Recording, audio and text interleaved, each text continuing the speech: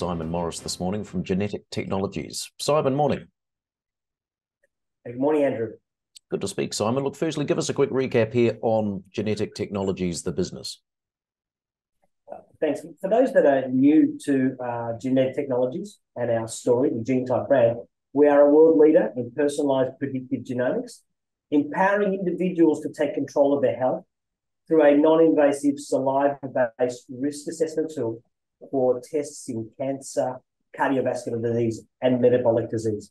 And we also have a direct-to-consumer business as well, which is our Easy DNA platform as well. Well, of course, here the uh, you're in Q1, the start of your new financial year. Uh, what's the plan? What's the strategy?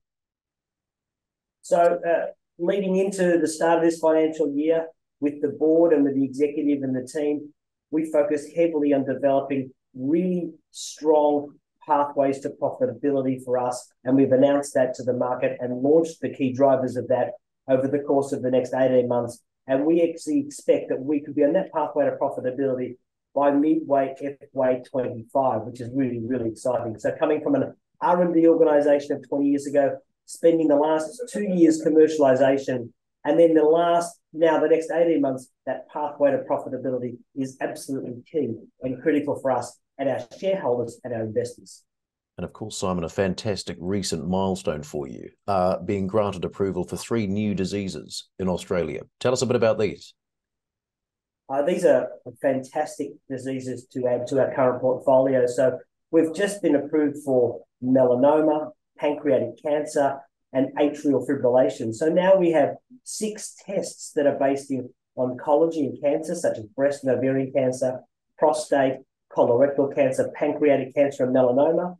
We now have coronary artery disease and atrial fibrillation, as well as metabolic, which is type 2 diabetes. So individuals can talk to their doctor, get a simple saliva based test, questionnaire, and they can get their individualized absolute risk of that serious disease over the next five years or their lifetime versus the population. So those at elevated risk can really create that pure preventative pathway to early detection, which we know saves the health system money and saves lives. Hmm. And Simon, tell us a little bit, bit about your ESG strategy. Yeah, it's a journey that we've only just commenced, and it's a really important one for the board and the executive team to really embrace. And in, in the first quarter was just really establishing where are we now, and then where do we want to be. So in the first quarter, we introduced some uh, new policies around maternity leave, which uh, increased on the mandatory maternity leave, so looking at really addressing pay equality. We've conducted some really significant cybersecurity uh, measures and improvements across our business worldwide, and they were really, really important. So in the next quarter, we're looking really focusing on board composition, um, ethical behaviour and policy reviews, such as things like code of conduct, whistleblower, anti-bribery, and then really launching a culture and engagement survey company-wide. And one of the things that we're really excited about is the innovation pipeline. And, and just recently, we were shortlisted with the AFR Boss Magazine uh, Most Innovative Company Awards. So uh, sadly, we didn't win, but it really sets a great foundation for our team's recognition of the amazing work that they are doing to really help and improve the population health worldwide. I suppose, Simon, just a final thought for prospective investors listening, taking a look at genetic technologies.